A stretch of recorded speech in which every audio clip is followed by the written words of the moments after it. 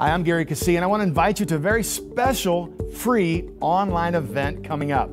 It's going to be about the kingdom of God, how it changed my family's life. And when you come to that event, I'm going to give you my free book, The Six Things I Learned the Hard Way. You know, 25, 30 years almost in ministry, you learn a few things, but the main thing I want you to learn is how the kingdom operates and how to do it the easy way. You, know, you can learn things the hard way, and it takes a lot of time. Start and stop, start and stop, or you can learn it the easy, the God way. And so I decided to write six things that I've seen people make a mistake doing over and over again, which is hindering their life, and I put them in a book that's yours free.